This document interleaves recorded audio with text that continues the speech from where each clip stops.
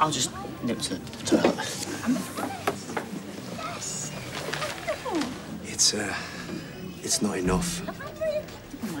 Sorry? Oh, that's all right. You want to know. I, I've not given you enough. Yeah, correct. I need more. There's a shortfall. Well, in, in that case, I, I should write you another check. Honestly, it's all, all a bit embarrassing, really. I hate talking figures, but five grand should cover it. Gosh, well, well, yes, well, very, very, very well, yes, of course. Great. Thanks.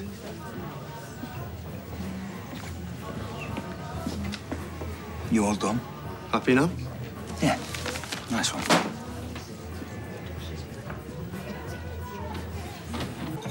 You lied, Sophie. Look, I know. I know I'm stupid, but I didn't know what else to do. And plus, it was only five minutes that I actually lied about. Yeah, five minutes when a young man died. Look, you can't make me feel worse than you I'm not trying to make you feel worse. I'm trying to help you understand.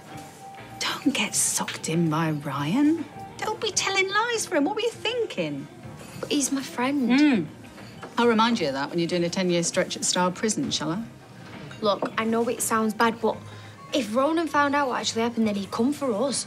Ronan? Yes, the lad that died. His dad is apparently some mad gangster. Oh, please don't tell me you're talking about Ronan Truman. Why? Oh, Sophie, you're joking me. Why? You know him? We're in the same business. But he's on one side of the law and I'm on the other. He's big time, Sophie. I, did, I didn't know what to do. I still don't know what to do. Well, I do. You go down to the police station and you change your story.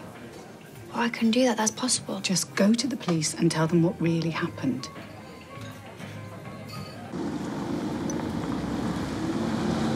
David? Where's Josh? What have you done with him? What have I done with him? Yeah. Last time you were around him, you had a knife. Are you okay, David? Is Josh all right? Oh, I don't give that about Josh. Josh is fine. Really? Oh, you need to sort out what your priorities are. He's gone. He's gone. Yeah. Finally got the message. Where's he gone? I don't know. I don't think we'll be seeing him round here from now on. Why? And you were right, by the way. About what? Did the right thing, Billy. How did I? All I ever seem to do is mess things up. Well, I don't think Josh will ever admit for definite what he did to me. But just seeing his fear was enough for me. Do you think he'll ever do it again? Rape someone? I honestly don't know. But I've got him out of my head now. I can think clearly. I can breathe.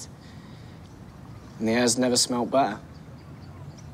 Got my life back. Yeah, Josh took part of my soul away from me, but I'm not going to be a victim anymore.